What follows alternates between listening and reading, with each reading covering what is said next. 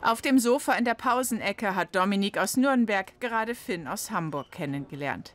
Finn programmiert Spiele. Informatikstudent Dominik befasst sich mit der Sicherheit im Netz. Ein aktuelles Thema, denn 2016 war das Hackerjahr. Cyberangriffe auf Wirtschaftsunternehmen und die Politik weltweit, auch in Deutschland. Auf jeden Fall ist es ein sehr wichtiges Thema, aber ich glaube nicht erst im Jahr 2016. Es ist in den letzten Jahren schon langsam hochgekocht und äh, wird in der Zukunft noch, sicher, äh, noch wichtiger werden. Und dieser Angriff auf den Bundestag vor einiger Zeit, der war sehr peinlich. Ähm, ja, sowas, da fragt man sich dann schon, ob da nicht noch mehr Geld in die Hand genommen werden sollte in dem Zusammenhang. Geld für Computerexperten, die die Systeme schützen sollen, das bringt nichts, sagt der Chaos Computer Club. Denn Angriffe im Netz wird es trotzdem immer mehr geben, wie Ende November bei der Telekom oder im US-Wahlkampf. Schlechte Aussichten auch für die Bundestagswahl im kommenden Jahr, so die Experten. Wir werden Angriffe auf Politiker sehen. Wir werden E-Mails oder Privatnachrichten oder Geheimnisse sehen, die an die Öffentlichkeit gelangen, gezielt an die Öffentlichkeit gegeben werden.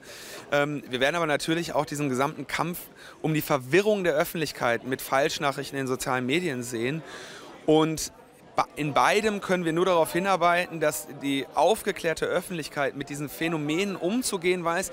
Hamburgs IT-Dienstleister Dataport verzeichnet pro Monat rund 1000 Angriffe auf seine insgesamt 70.000 Rechnerarbeitsplätze.